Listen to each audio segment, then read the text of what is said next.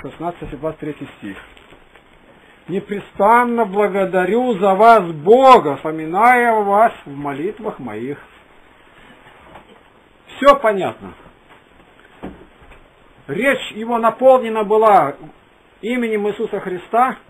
Как только остановился на молитву, у него сразу же вспоминались все плоды его труда. И я вспоминаю вас благодарностью в молитве. Это нам пример. Спрашивает, а о чем молиться? О всех молиться. И здесь ответ в этом. Начни с самых высших до самых низших. Кто тебе добро сделал? С кем ты встречался? Где сеяло не взошло? Где росток первый показался? Как полить его? Через кого-то? Что-то дать, может быть, книгу почитать, что?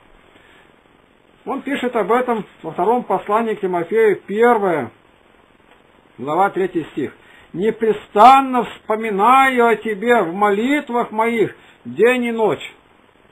Значит, на молитву это не просто читать. А то, говорит, я читал, говорит, молитве, по молитвенку, и куда-то умом ушел. Так вот это куда-то ушел, может, как раз молитва-то и есть.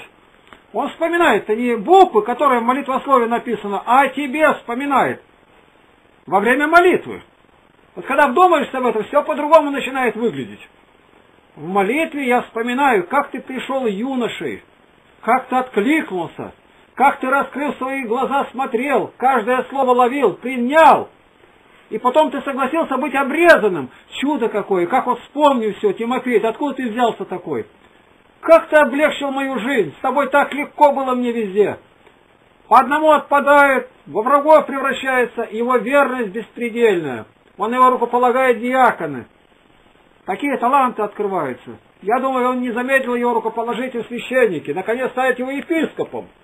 Я непрестанно вспоминаю, то есть в каждой молитве имя этого мальчика Тимоша у него не сходило с языка и с мыслей. Господи, сохрани его, и мать у него, и бабка, всех вспоминает. Ну, больше никого вообще в Новом Завете нет, что вспоминали мать и бабка. Даже больная теща Петра, верховного апостола, имени никакого нет. Женщины, которая воскликнула, блаженно чрево, носившая тебя, сосы питавшие, тоже имени не оставили. А здесь никакой роли не играет ни бабка, ни мать. Да еще, может быть, их надо было под эпитемию ставить, что за дочкой не смотрели. Мать-то была у него кто? А вышла за грека. Не усмотрела дочь свою. А почему такая мать его была? Бабка не смотрела. А плод-то получился на весь мир известный. Как у Бога промыслительно все бывает – когда человек обращается, и Тимоша, может быть, грех бабки и матери все скрыл. Я непрестанно вспоминаю о тебе. Утром, вечером, днем, какая бы ни была молитва длинная, короткая, Тимофей у меня в голове. Только бы не отступил, только бы не отошел. Старая дружба выше новой, как и вино. И кто, говорит, пьет новое вино, то скажет, старое было лучше, так и дружба. Это очень хорошая отдушина в этом мире от всех не урядец. Послание к Филимону 1.4 Павел говорит, всегда вспоминая тебе в молитвах. Вот тебе Филимон, какой-то помещик, может быть, рабовладелец, потому что у него сбежал Анисим, обокрал. А когда обокрал, было что? Он у него раб был. Вот тебя был рабом, говорит, я, а теперь стал братом. И вот в молитве опять вспоминает, где он в конце молитвы, в начале, так хотелось бы послушать. Но у меня свой опыт, а у него свой. А раз они не дали никаких рамок молитвы, а одно что, всегда благодарите. Дальше вспоминайте, что Бог сделал, о благодеяниях. То есть молитва должна быть наполнена благодарением. Я говорил, что молитва трех ступеней идет. По ней непрерывно подниматься к, к словословию Христа. Я вспоминаю о тебе. А что он сделал хорошего, Филимон? Принимал странников. Он был заботливый. И апостол Павел говорит, как только вот у меня тут ослабнут узы, я к тебе приду. Ты приготовь там для меня жилье. Чтобы Павел кому-то заехал, это не просто так. Ты спроси сейчас, ну, большая епархия, более ста приходов, спросите, кто-нибудь получал такое письмо, чтобы епископ место написал, ты там приготовь мне постель, простеньки постирай, я к тебе приеду. Священник только может получить, куда он едет, и то, может быть, не получит. Или сейчас он получил это письмо, патриарх мне пишет, ты там мне постель приготовь где на втором этаже. Вообразить даже невозможно это. А это так просто все выглядело. я вспоминаю о тебе, о широте твоего сердца. В этой жизни много радости у тебя было, богатый человек. Как ты нищету Христову избрал? Он не просто вспоминал имя Перемона, а его дела. И Павел всегда ставил в пример, какие были люди у него примерные. Послание к Римлянам 1.3. Благодарю Бога моего за всех вас, что вера ваша возвещается во всем мире. Вот теперь он уже вспоминает о римской церкви господствующей, ну, у нас как столица Москва, а всех вспоминает. И когда начинает приветы передавать 16 глава целиком из одних приветов, это раньше так писали, письма. Бабушке Аграфене передайте привет, моей крестной, пол письма на это. И ничего в этом особенного не было, это любовь проявлялась, они знакомые, близкие мне. И Павел говорит, Бога благодарю. За нас Бога кто-нибудь благодарит или нет? Кто скажешь, хорошо, что ты родился, что живешь, что сохранил свою жизнь. Мы не просто должны смотреть своим здоровьем, потому что нам это нужно, а может быть кому-то мы нужны.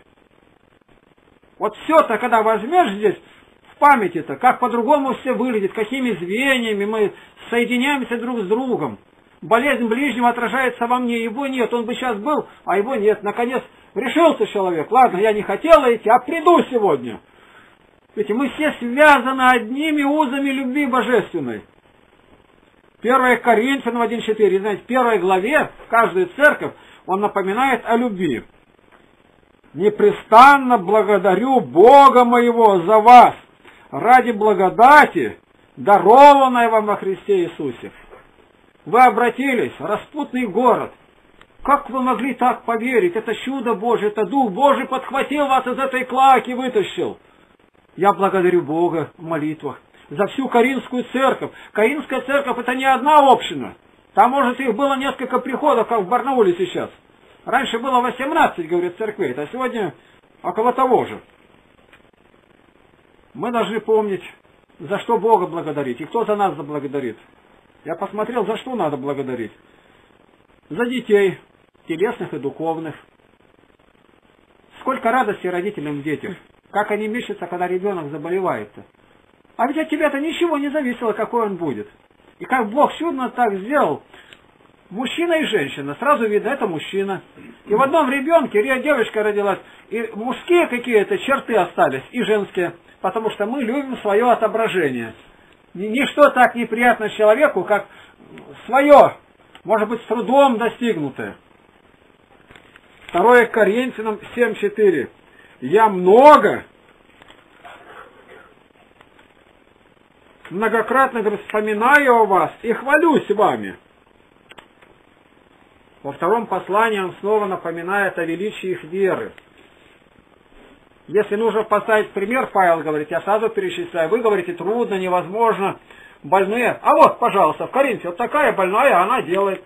Что-нибудь опять жертвует. Все боитесь, жертвуйте хорошо. Смотрите в Коринфе как делают. И опять я вами хвалюсь везде. Вы, говорите, один раз присылали мне и два раза присылали на нужду мою. Второе Коринфянам 8.4.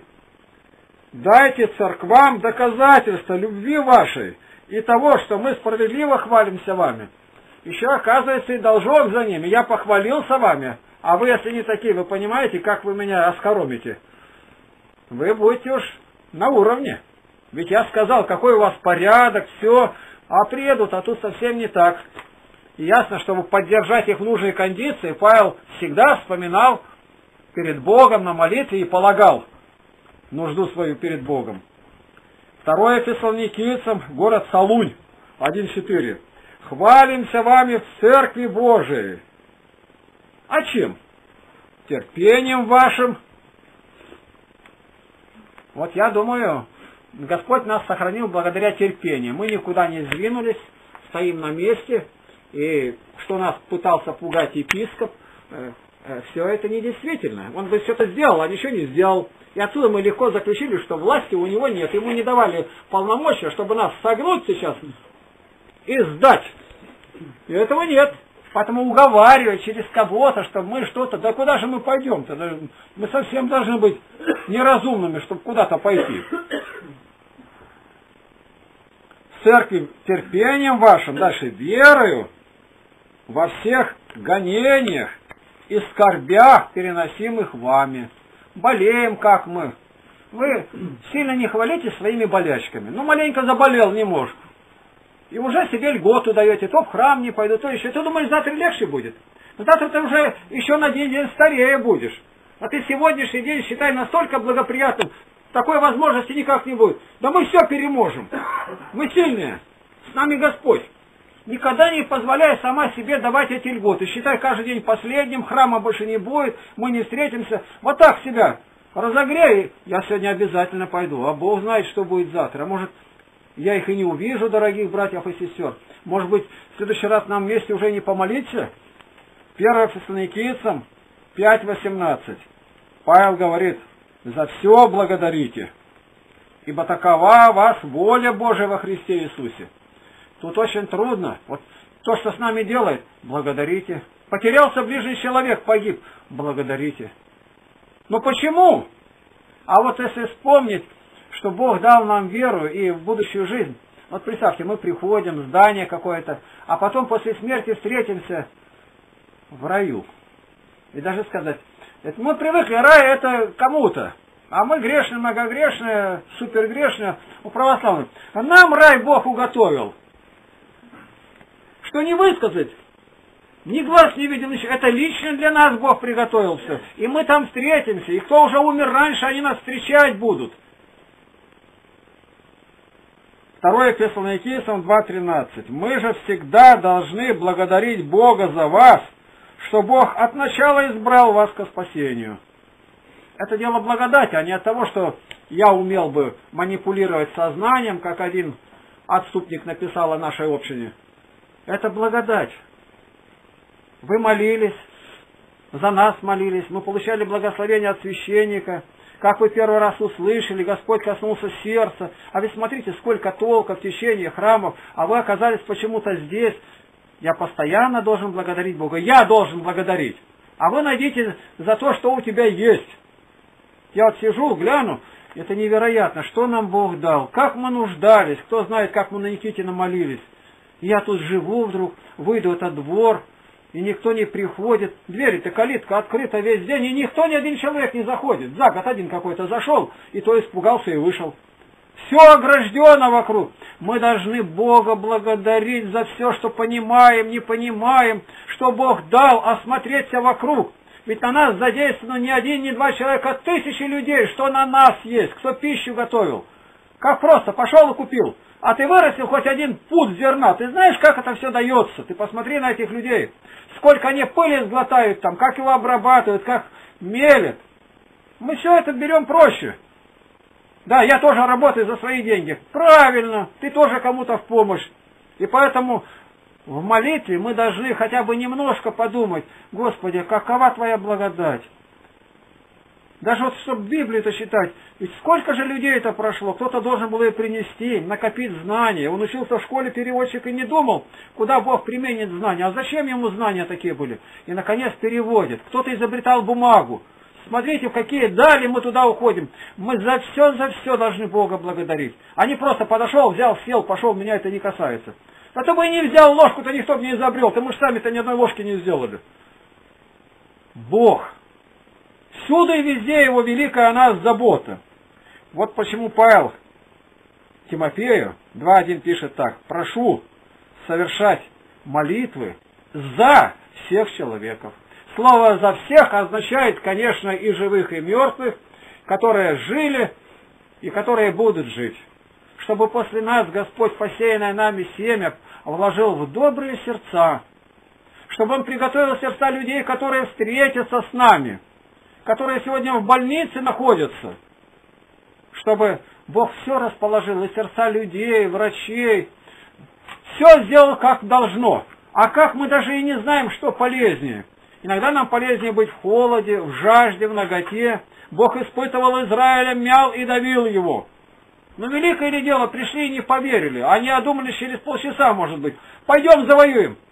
А сколько дней ходили соглядатые? Страна-то большая была, пешком ходили. Да надо было прятаться, чтобы никто не видел. Они 40 дней обходили, как Алтайский край.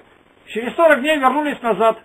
Из 12 10 стали говорить, нам это не взять. Там такие люди, там такие танки, такие самолеты, а у нас еще нету. И Господь повел их. Год за день, год за день. Сорок лет водил их по пустыне.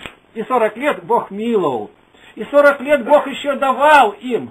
Сколько милости. Он бы мог в один день их всех истребить. За все благодарите.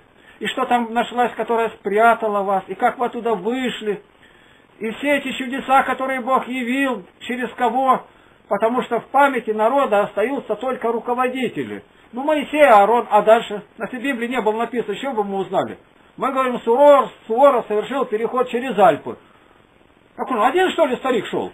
Да нет, у него была армия 50 тысяч. А как имена командиров? Ни одного нету.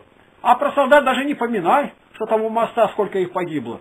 Да и в эту войну просто знает, что 570 тысяч погибло под Берлином. Так это каждая душа. А что было дальше, мы не знаем. За все благодарите. За понимаемое и непонимаемое, за открытое, за тайну. За то, что Бог дал мне сегодня быть здоровым, а может завтра буду больной. Здоровье это очень легко славить.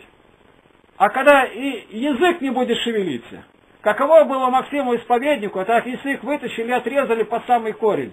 Руку правую, какой писал рукой правой, отрубили руку. И он без языка стал славить так, как и с языком не славят. За все благодарите. Вот почему Павел говорит, непрестанно я благодарю за вас, Бога. Когда мы встретимся в вечности с Павлом, а мы обязательно его увидим. И Павел поблагодарить Бога за нас, что мы верили его посланиям, что мы так высоко ставили его труды, что святые отцы канонизировали, его письма занесли в канон Библии, вспоминая о нас в молитвах. А Павел о нас вспоминает или нет? Мы-то, когда молимся Павлу, мы верим, что я молюсь каждый день ему, первоверховный апостол Петр и Павел, молите Бога о нас. Мы вспоминаем, нуждаясь в его помощи. Согласно нашей православной вере, наши молитвы доходят до святых.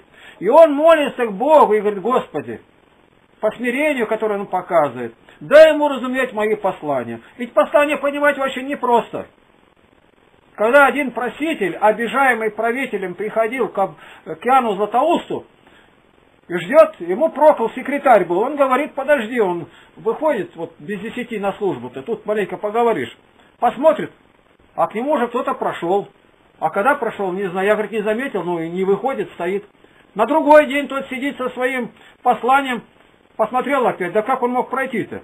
И на третий день он тогда уже зашел в Златоусту и говорит, а кто у тебя сейчас был? Он говорит, никого не было. Да как не было? Стоял сзади вчера, и тебя три дня уже человек там в приемной ждет. А какой человек? Он голову повернул, смотрит на иконе апостол Павел. Вот такой вот.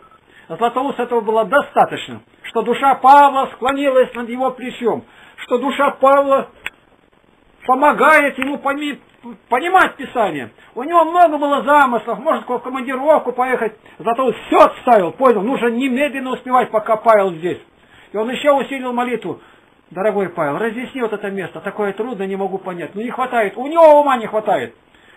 Он сзади над плечом склонялся и на ухо ему что-то говорил. Когда мы молимся, просим Господа, от нас ведь многое сокрытое. Быть может, в это время на нас рядом Матерь Божия смотрит. И вы молитву должны благодарить. Рядом ангел-хранитель, это непременно сейчас вот здесь, в этой комнате, стоят наши ангелы. Мы за все должны благодарить Бога. За то, что Бог даровал веру, сохранил по сей час – и чтобы помог достичь нам желаемой пристани Царства Небесного. Аминь. Аминь.